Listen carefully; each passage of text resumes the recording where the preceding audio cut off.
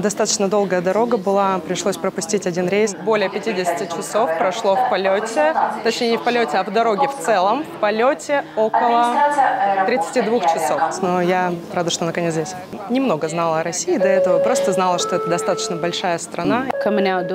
Я достаточно готова, думаю, надеюсь на это, по крайней мере. Взяла несколько шапок и хорошую теплую куртку.